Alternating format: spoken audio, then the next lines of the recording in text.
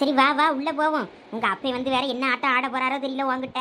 அவரு ஏன் என்கிட்ட வந்து ஆடியாரு? அப்பா நேரா போய் அவர் மாப்பிள்ளை கிட்ட போய் ஆட சொல்லுங்க. என்னதான் இருந்தாலும் நீ குறைச்சிக்கிட்டு துணிமணி அள்ளிக்கிட்டு இங்க வந்திருக்க கூடாது எம்மா நீ சும்மா இரு பத்துக்க என் கோவத்தை கலராத. சரியம்மா நான் ஒன்றும் சொல்லலை. போ போ. கதவை ஏன் சாத்தி வச்சுக்கிட்டு வெளியே உட்கார்ந்துருக்கா? கதவு டொம்மு டொம்முன்னு காற்றுல அடிச்சுக்கிட்டு இருந்துச்சு. அந்த சும்மா சாத்தி வச்சுட்டு இதில் உட்கார்ந்துருந்தேன். சரி பாண்டி எப்போ வரேன்னா? அவன் நாளைக்கு காலையில் வருவான். என்ன விஷயமோ இப்ப திடீர்னு வாரானா? இந்த தடவை வரும்போது கண்டிப்பா அவனுக்கு கல்யாணத்தை பண்ணிடணுமா கல்யாணம் பண்ணலன்னா நான் எந்த ஆளையும் போயிருவேன் கான் சாமியாரா? அவனை எந்த அலையும் போக சொல்லு சாமியாரா. ஏன்? ரொம்ப பொண்ணு வாரு பொண்ணு வாருன்னு ரொம்ப தொல்லை பண்ணியானோ? இல்ல பொண்ணு பாருங்கன்னெலாம் சொல்லல. நான் வந்ததும் கல்யாணம் பண்ணி வைங்கன்னு மட்டும்தான் சொன்னான். பொண்ணுக்கு நான் எங்களை போவேன்னே? அதுக்கு அவன் நான் எல்லாம் பார்த்துக்கிட்டேன்னா வந்து இருந்து எதுவும் பொண்ணுக்குன்னு தேடுவானே என்னமோ தெரியல அவனை.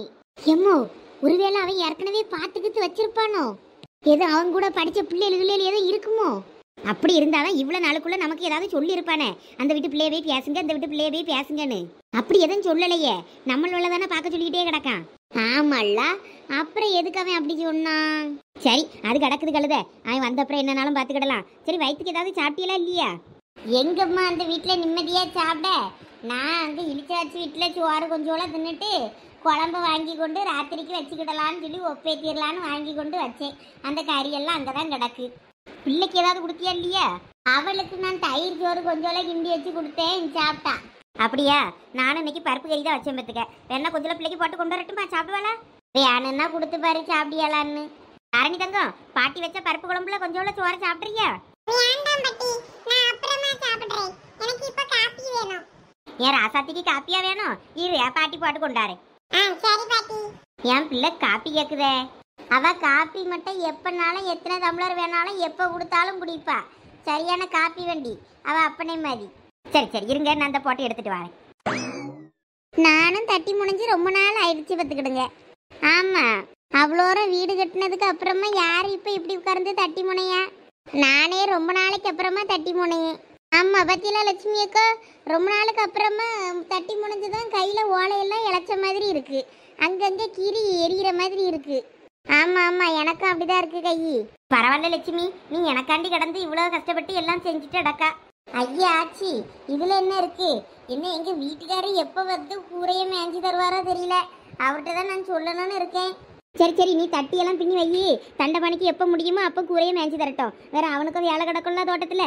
இப்போதான் மழை வரல வெயில் அடிக்க ஆரம்பிச்சிட்டுல நாலு நாளா? ஆமாம் அவ்வளவு இந்த சென்னையில் மழை வெள்ளம்னு எல்லாம் அந்த பக்கம் திரும்பிட்டு போல இருக்கு. என்னமோ புயலாமே என்னமோ ஒரு புயலுன்னு நியூஸில் போட்டானே வாயிலே நுழைய மாட்டேங்குது. ஆமாம் ஆமாம் ஆமாம் சரசு நானும் கூட பார்த்தேன். ஏதோ ஏதோ நிஜாம்பாக்கு நிஜாம்பாக்கு புயல் ஆமாம் எங்கள் வீட்ல இந்த பிள்ளைகளு போனை நோண்டிக்கிட்டு ஒரே நியூஸே வைக்காதுவே. நான் தான் நியூஸை வச்சு பார்ப்பேன் அப்போ அப்போ நான் பார்க்கும்போது என்னமோ அப்படிதான் போட்டாமத்துக்க எவ கொம்மி? என்னடா? அது நிஜாம்பாக்கு புயல் இல்ல நிஜாம் புயல். எல்லாம் எனக்கு எல்லாம் தெரியும். நீ சும்மா இரு. அது நிஜாம் நிஜாம்பாக்கு தான் என்னமோ சொன்னான். நீ தெரியாம சொல்லியா? அட எம்மோ நான் சொல்லியது சரி. நீ தப்பா சொல்லிக்கிட்டு இருக்கா? சரி ஏதோ ஒரு புயல். நான் நியூஸ் பார்க்க தான் செய்யேன். உங்களோட மதிய போன நோண்டிக்கிட்டு இருக்கேன். நாங்கள் வே போன நோண்டினாலும் அதுலேயும் நியூஸ் எல்லாம் பார்ப்போம். எல்லாம் நாங்களும் அப்டேட்டாக தான் இருக்கோம். ஆமாம் நல்லா இருந்தா போட்டுக்கிட்டு. முத நீ ஓலையிலேருந்து எந்திரி. ஓலெல்லாம் நொறுங்கி ஒண்ணுக்காவாம ஆயிரம் தட்டி முனை ஆகாது எந்திரிலா. அதெல்லாம் ஒன்றும் ஆகாதுமா நான் கொஞ்சோட கேப்பு கிடக்க அந்த கேப்பில் தான் உட்கார்ந்துருக்கேன். ஒன்றும் ஓலை மேலெலாம் உட்காரல. லட்சுமி அக்கா சென்னையெல்லாம் எப்படி வெளில வந்து அவ்வளோ தத்தளிச்சுக்கிட்டு கிடக்கவே பார்த்தீங்களா ஆமாம் சரசு இந்த தண்ணி மழை பெஞ்ச தண்ணி புவாக்கடம் இல்லாமல் தான் அப்படி அலையுமோ என்னமோ தெரியல. அதாக்கு ஆளு அதிகம் பத்தியில அங்க. அதனாலதான் இந்த இது பத்துக்கிடுங்க.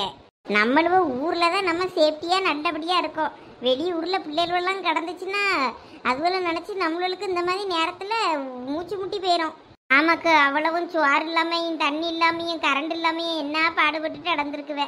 ஏமா அப்ப நம்ம ஊர்லயே வெளில வந்தா எப்படி இருக்கும்? சோனி நம்ம ஊர்ல எத்தனை தடவை வெளில வந்திருக்கு? நம்ம ஊருக்குள்ள என்னைக்குன்னா வந்திருக்கா சொல்லு. நல்லா இந்த பாலத்தெல்லாம் தூர்வாரி நல்லபடியா எல்லாம் கிடக்கு பத்தியா? அதனால ஆறு வழியா தண்ணி சேஃப்டியா போயிரும் பத்துக்க. ஊருக்குள்ள வராது. அந்த ஊர்லயும் இருக்க நீர்நில பகுதிகளெல்லாம் நல்லா தூர்வாரி போட்டோன்னா இந்த மாதிரி வெள்ளம் வராதா இருக்கும். அதெல்லாம் இந்த இதை பண்ண முடியல என்னமோ தெரியல. ஆமா அப்படி சொல்லு சரசு. லட்சுமி அக்கா லட்சுமி அக்கா. என்னடா அறக்க பறக்க ஓடியாரா? லட்சுமி அக்கா உங்களுக்கு ஒரு விஷயம் தெரியுமா? ஏலா விஷயம் தெரியதெல்லாம் இருக்கட்டும். முத ஓலையில இருந்து எந்திரிலா ஓலையெல்லாம் நொறுங்கி போகும். இப்பதான் நான் அவளை சத்தம் போட்டிருக்கேன். நீ அதுக்குள்ள ஓலையில ஏறி வந்து இப்படி உட்கார்ந்துருக்கா? ஐயோ லட்சு இப்போ ஓலை ரொம்ப முக்கியமா? நான் என்ன மாதிரியான விஷயத்த சொல்ல வந்திருக்கேன்? சரி என்னலா சொல்லு? நம்ம உமா இருக்கால உமா? ஆமா அவளுக்கு என்ன? அவ அவிய வீட்டுல சண்டை போட்டுட்டு குவாச்சுக்கிட்டு ஐயா அம்மா வீட்டுக்கு போயிட்டா.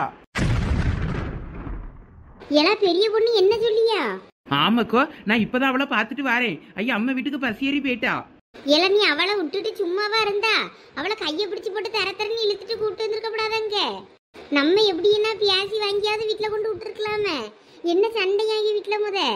நான் அவளை கூப்பிடாமலாக்கோ இருப்பேன்? எவ்வளவோ கூட்டு பார்த்தேன்க்கோ அவ நான் வரைய முண்டேன் அவர் வந்து என்னை கூப்பிட்டாதான் நான் வருவேனாக்கோன்னு சொல்லிட்டு போயிட்டா. என்ன பிரச்சனைலாம் பெரிய பொண்ணு அவிய ரெண்டு பேருக்கும்? அது ஒண்ணும் இல்லக்கோ. ஏற்கனவே உள்ள நகை மேட்ரு தான். இப்பதான் அதுக்கு ஒரு முடிவுக்கு வந்திருக்குது. என்னாச்சுல? அந்த நகை எங்க இருந்துச்சா? ஆமா அதானே. அந்த நகையை யார் வச்சிருந்தாவலாம் உமாவோட மாமியா கிழவி தான் அந்த நகையை கொண்டு போய் மொவா கிட்ட கொடுத்துருக்குது. அதை வச்சு அவன் ஏதோ தொழில் தொடங்கியிருக்காவ. அந்த தொழிலும் இப்போ லாஸ் ஆயிருச்சு போல இருக்கு. அவன் ஃப்ரெண்டுக்காரன் என்னமோ அவளத்தையும் பார்ட்னர் அவளத்தையும் எடுத்துக்கிட்டு ஓடிட்டானா. இப்போ நகையும் முங்க போகுதான். இப்படி நிறைய பிரச்சனை போல இருக்கு. இது எல்லாத்தையும் என் மாமியார் ஐயன் மொவா பேசிக்கிட்டு இருந்திருக்கு. அதெல்லாம் இவ போனால அங்கே வீட்டில் இருந்து இழிச்சவாசி வீட்டில் இருந்து அப்போ அங்கே என்ன ஃபோனில் என்ன சத்தம் போட்டு நடக்குன்னு கேட்டா போல இருக்கு ஒட்டு கேட்டுக்கிட்டு இருந்திருக்கா. அப்போ தான் அவிய ஃபோனில் பேசிகிட்டு இருந்ததை எல்லாத்தையும் இவ ஏற்கனவே நம்மகிட்டே ரெக்கார்டு போட்டிருக்கேன்னு சொன்ன பத்தியில? அவிய பேசிட்டு வச்ச உடனே கப்புன்னு போனை பிடுங்கி ஒழிச்சு வச்சிருக்கா. ஐயோ வீட்டுக்காரன் வந்திருக்காரு இதுவும் போனை பிடுங்கிக்கிட்டு கையை முறுக்கிக்கிட்டு இருந்திருக்கு.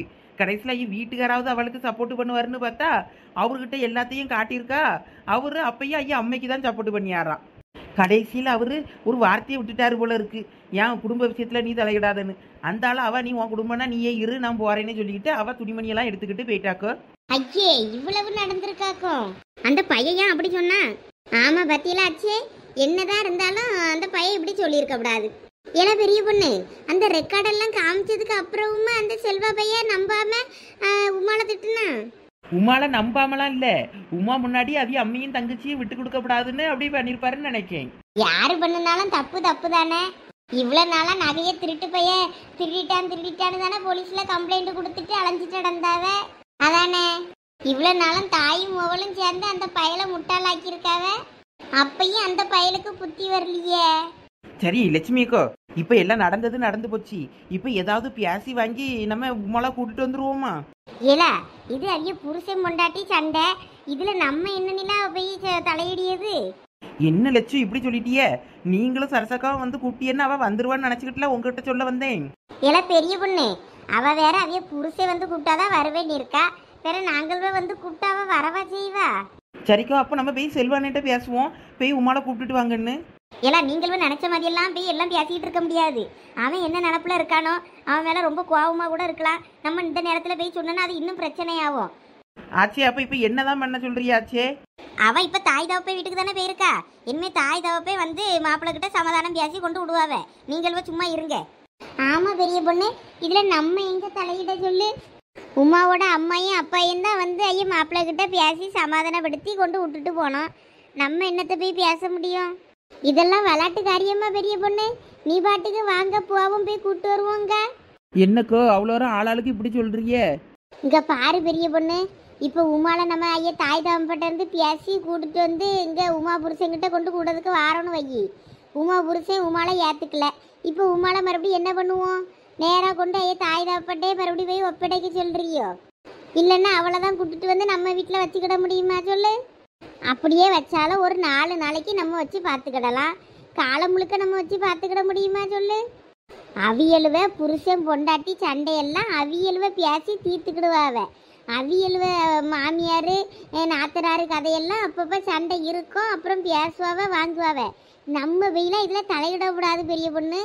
என்னக்கோ இப்படி சொல்றியே அப்போ உமா எப்பதான் வருவா? பிரச்சனைலாம் தீர்ந்துச்சுன்னா அது பாட்டுக்கு வருவா.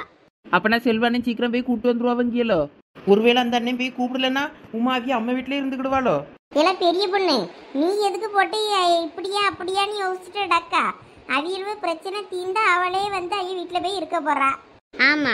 அவ அவிய அம்மா வீட்ல இருந்து வந்து புருஷன் வீட்டுக்கு வந்தா புருஷன் என்ன வெளியே போனா சொல்லிட போறான் அப்பனா லட்சுமி அக்கோ நீங்க உமாளுக்கு போன போட்டு அவளையே திரும்பி அவளா வர்ற மாதிரியாவது வந்து வீட்டில் வந்து இருக்க சொல்லுங்கக்கோ வேற அந்த அண்ணன் கூப்பிட வருவாவ வருவாவன்னு அவ அங்கேயே இருந்துட போறா.